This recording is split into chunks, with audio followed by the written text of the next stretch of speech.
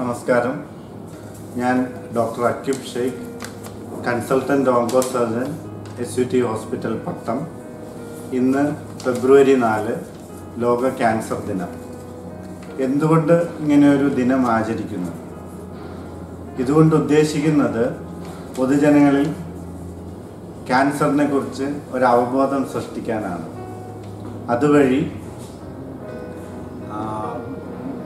മുൻകരുതലുകൾ എടുക്കാനും ക്യാൻസർ വരാതിരിക്കാനുള്ള മുൻകരുതലുകൾ എടുക്കാനും ക്യാൻസർ ആരംഭ ദിശയിൽ കണ്ടുപിടിക്കാൻ സഹായിക്കാനും അതുപോലെ തന്നെ ചികിത്സാ വിധികളെക്കുറിച്ചൊക്കെ പൊതുജനത്തിന് ഒരു ബോധമുണ്ടാക്കാൻ വേണ്ടിയിട്ടും കൂടിയാണ് ഈ ഒരു ദിനം ആചരിക്കുന്നത്.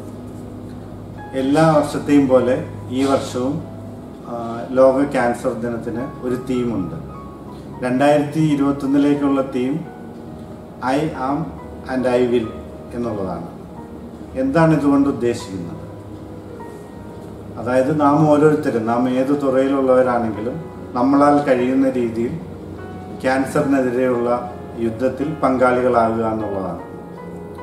രോഗികളാകാം ഡോക്ടറാകാം സാധാരണക്കാരാകാം.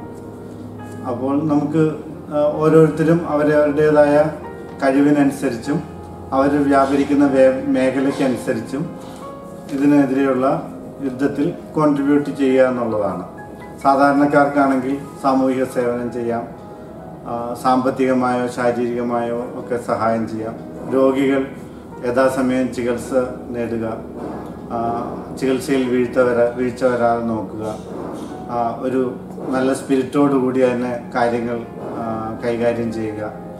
അതുപോലെ ചികിത്സാ മേഖലയിലുള്ളവർ ഏറ്റവും നല്ല ചികിത്സ കൊടുക്കുക. രോഗികൾക്കൊരു കൈത്താങ്ങാകുക. അങ്ങനെ നാം ഏത് രീതിയിൽ വ്യാപരിക്കുന്നു ഏത് നിലയിൽ വ്യാപരിക്കുന്നു ആ ഓരോരുത്തരും തന്നാൽ കഴിയുന്ന രീതിയിൽ കോൺട്രിബ്യൂട്ട് ചെയ്യുക എന്നുള്ളതാണ് ഈ I am and I will എന്നുള്ളതുകൊണ്ട് ഉദ്ദേശിക്കുന്നത്. പിന്നെ ഈ വർഷം നമ്മൾ അധികമായി നേരിടുന്ന ഒരു വെല്ലുവിളി ഈ കോവിഡ് പത്തൊമ്പതിന്റെ സാന്നിധ്യം കൂടിയാണ്. കോവിഡ് പത്തൊമ്പത് ഈ തുടക്ക കാലഘട്ടത്തിൽ ഈ പാൻഡമിക്കിന്റെ ഒരു തുടക്ക കാലഘട്ടത്തിൽ ക്യാൻസർ രോഗികൾക്ക് വളരെയേറെ ബുദ്ധിമുട്ട് അനുഭവപ്പെട്ടിട്ടുണ്ട്. അതായത് പല ചികിത്സകളും മാറ്റിവെക്കപ്പെട്ടു സർജറികൾ മാറ്റിവെക്കപ്പെട്ടു കീമോതെറാപ്പി റേഡിയേഷൻ എല്ലാം വൈകി. അതിന്റേതായ ഒരു ദോഷഫലങ്ങൾ അവർക്ക് നേരിടേണ്ടിയും വന്നിട്ടുണ്ട്.